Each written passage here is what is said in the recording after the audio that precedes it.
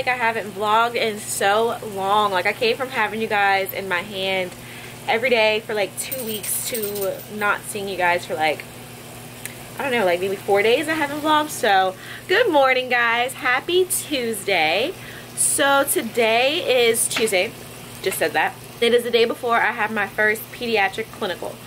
So I decided to vlog my first peds clinical with you guys, at least like, you know, the process of it because, you know, I can't film in the hospital. So I can just show you guys how I'm getting ready for it and then um, talk to you a little bit about what happened tomorrow. But yeah, so today's Tuesday so far. All I've done, run out of bed, made bed. and now I'm just kind of straightening up my apartment so we're not going out there. A lot that y'all are going to see before this, I'm going to go ahead and start editing that now. Hopefully I get a lot of that done before my meeting. I have a meeting at 1. I have meeting from 1 to 4. It's our pre-conference. Not quite sure what we're going to talk about that meeting, so I will let you guys know. I want to say hopefully we get patient pickup, but I also don't want to have to do patient pickup work tonight because I really want to go to sleep early tonight, so we'll see. I'll let you guys know. And then after that meeting, I need to go grab a few things from the grocery store, probably just like some fruit, some chips, I don't know, things to take with me to clinical. And then get some eyelashes because your girl is looking regular. I'm about to go ahead and get started my day. I just wanted to like welcome you guys to my video. So let's go.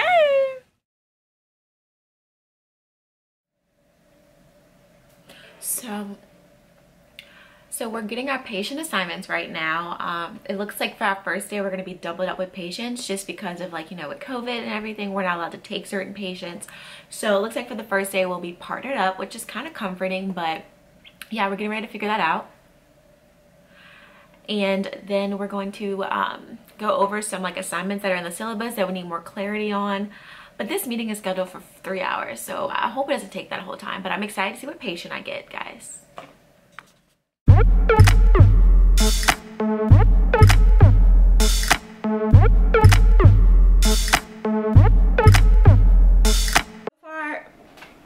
Since I left you guys, I have finished the meeting. Um, it actually was only about an hour, hour 15 minutes, so that was great. Um, that did not take up too much time. I got my patient assignment, so I'm super excited about that. Obviously, I can't tell you that much about my patient, but I can tell you that I get to work with the little baby tomorrow, so I'm really excited to work with the baby.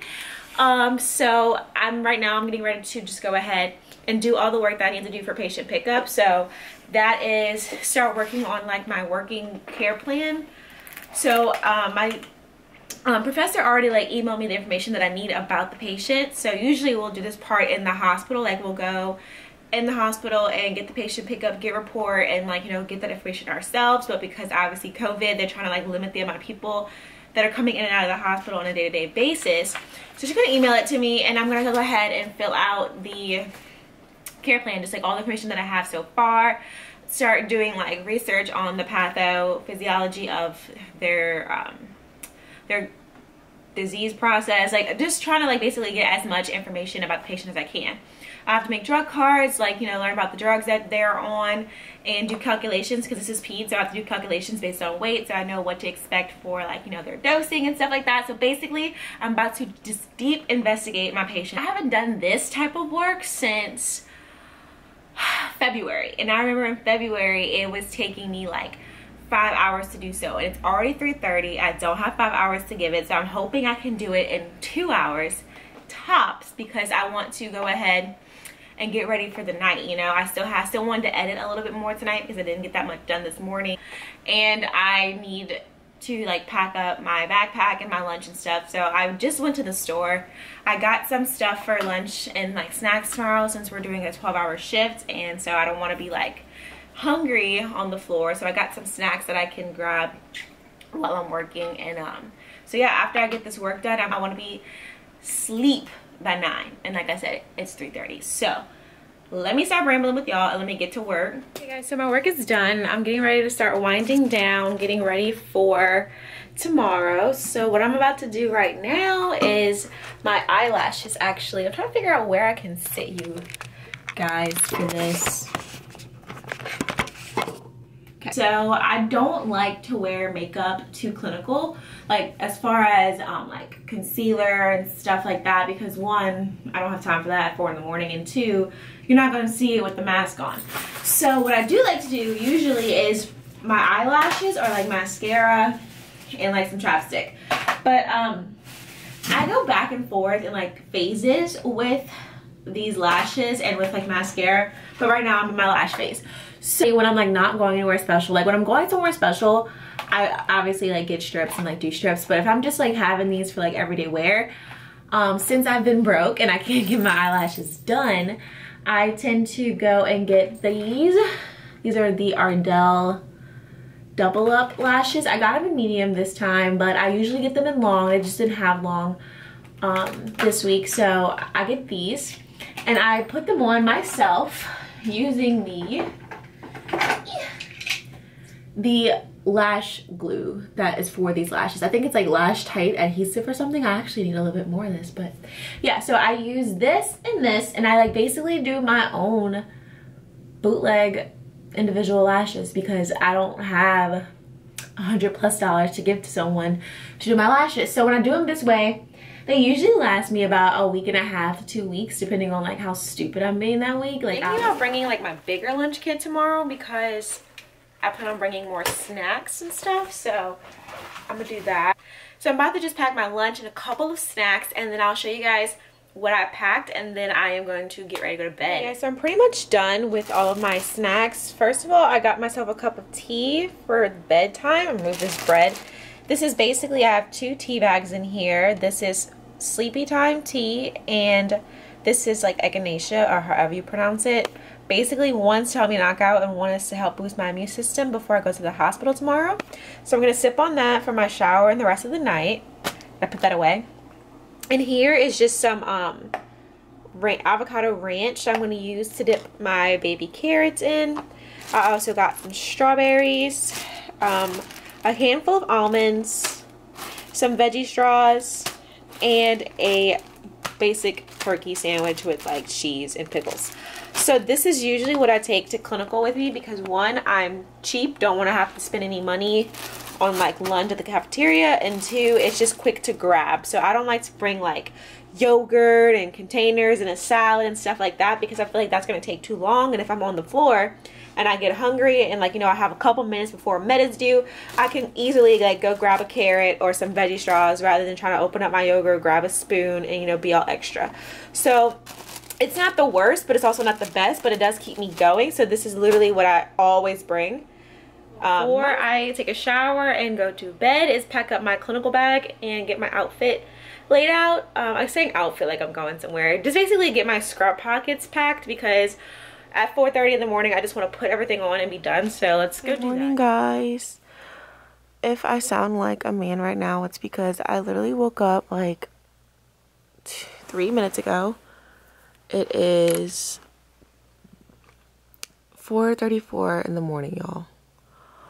4.34 and my alarm just went off like four minutes ago. I actually kind of woke up a little nervous this morning, y'all. I'm not gonna lie. Like, I haven't been in the hospital like this in a very, very long time, so I'm a little nervous. I don't want to like hurt anyone or do anything completely wrong, but I'm just gonna try to shake that off of me real quick. Like, I'm about to meditate and pray and get out of bed because I have to be gone at 5:45, so I don't have time for these nerves. So, oh shit, y'all. I have like an extra alarm in case. I have an extra alarm in case this alarm doesn't work because this alarm runs on Wi-Fi. So like if something crazy happened with the Wi-Fi overnight, it won't happen. And I have been late for clinical before, guys, and I am not trying to do that again. So.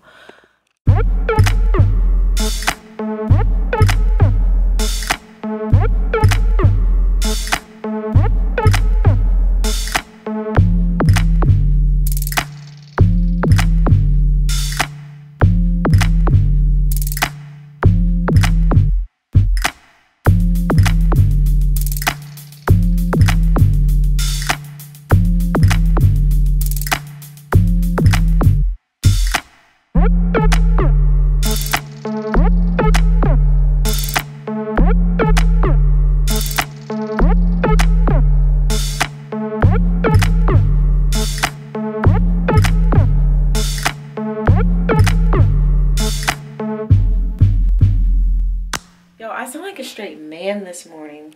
But it's around, I literally have wasted like 15 minutes taking pictures because I was like obsessed with my little monkey scrubs. So now I'm about to go ahead out of my room and walk my child and then eat brekkie and then leave because I have about 30 minutes. So Swade is trying to figure out why we are up this early. Come on, Swade. Good morning. You got your jammies on? You got your jammies on? You tired? I know. Okay, so it's around 5.40 now and I am about to head out, guys. So I'm about to just grab my name badge, um, pack up my lunch into my backpack and my jacket, and then head out, y'all. I'm gonna miss Swadey Poo for like 12 hours. Come see Swade. Come on.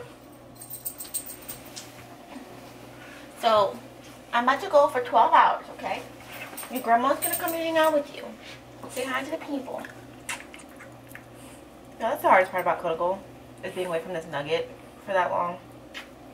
Grab my backpack, grab my lunch, fill up my water bottle really quick, and then head out of here. Um, might honestly brush my teeth again because I have to wear a mask all day and I don't really want to like taste my breakfast under my mask. So uh, yeah, so let me just go ahead and grab these few things and get out of here. I will talk to you guys after clinical to let you know how it is because y'all already know your girl could not bring a camera to the hospital. So, all right, so it is the next day now, y'all. This literally happens every time I try to film like um, clinical day. I just get so tired so by the time i get home i just don't even want to talk about the day but like i promised you guys that i would talk about what happened yesterday so i will talk about it so yesterday we got there around like 6 30 um honestly guys like i don't i don't know like I really, really, really want to like peds, but I just think that not being in the hospital for so long has gotten me to the point where I'm like not comfortable in the hospital right now. Like, you know, with COVID going on, we weren't really allowed to do um, our adult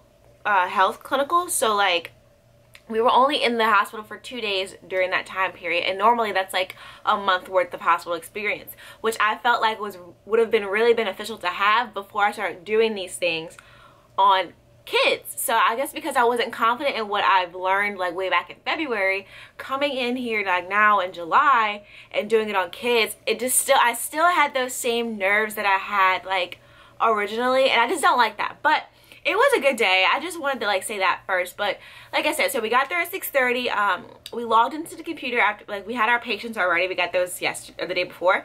So we logged into the computer. We like got all the information about our patient that we could get. Like I can like previous vital signs, history, like what you got admitted for, chief complaint, history of present illness. I got everything even the review of systems y'all. Like i got everything i can possibly get. I was like all in the doctor's notes like analyzing everything. I wanted to know everything because one i wanted to like you know know what i was doing what i was walking into and two i wanted to have all the answers to the questions that my teacher would have asked. But basically did some research on them got a report from the nurse and then met the patient and her mom obviously because she's a child like a baby so like she doesn't know who i am. But yo guys when i walked in there she was literally crying her eyes out. Like i felt so just felt so bad and like so i don't know unloved. Like she hated me y'all. She hated me. Like i could not i had to do like a head to toe assessment. Like when you get to the uh, when you start your shift you have to start every shift with like a full body assessment. I couldn't do anything to this child. Like she was not no like i could not do anything with her. She was crying. She was like posturing like she did she did not want to be touched basically so um yeah, I spent that part of time just kind of like trying to collect vital signs, not really able to, but basically just talking to the mom. And her mom explained to me that like I should just come back a little later after she's had her nap because she's just tired right now. So that's what I did, obviously. So um, I spent some more time researching her after that and then like helping other people give meds and stuff like that. And then I went back. She was asleep I got to do my assessment and I think that's when we, we bonded. I think that she did wake up a little bit during the assessment, but at that point she was just like, oh, hi, like, you know. Um, so that went well, got her vital signs, did that, started helping out other nurses, like, you know, just kind of doing what I could. And then, um, but the only like really skills thing I did was like, I did an assessment, I gave two oral medications, um, and I pulled out an IV, which is literally something I have been, things that I've been doing since like February. So I'm that's what I'm trying to tell you guys. Like this pandemic is really starting to blow it because it's like I'm literally doing the same skills that I've ever like I've been doing since February. Like, I feel like I'm not like I'm learning new things in class, but I feel like I'm not learning new things in the hospital. And that's like the downside about this right now because the way the hospital that we work at right now, um, the, their rules in order for us to be at the hospital is that we can't take isolation patients. So we can't take basically the interesting patients, the patients that will give us more, like the opportunity to do more skills. Because we can't do skills unless we have patients that require those skills. So like we can't start IVs and hang banana bags and like, not banana bags, we can't hang piggybacks and start IVs and like insert Foleys and do all this other cool stuff if we don't have those patients. And nine times out of 10, I hate to say it, but those patients are usually sicker and probably on isolation precautions and we can't take them because of COVID. So the patients that I get are always very, very simple. But they so that like knocks out a lot of patients. I think that they say we only have five patients on the floor for 10 of us, which means we had to double up.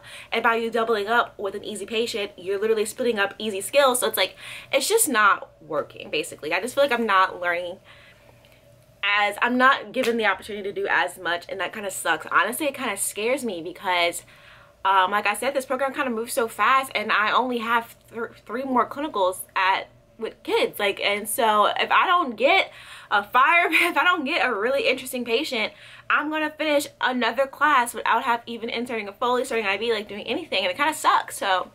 And um after this we have labor and delivery we have like community health and then we have icu so i highly doubt in labor and delivery that i will be doing these skills i'm talking about like you know and so that really scares me that i'm about to enter icu and i don't even have like the basics but at least at least I will be really good at what I know. But so yeah, partner ended up giving it giving an IV med, so like just hanging a medication um on the IV pole. Um, that was pretty cool to watch because they had the different type of IV uh, med. So like usually like in adults they have like you know you know the bag with the tubes and you like you know it goes into the IV.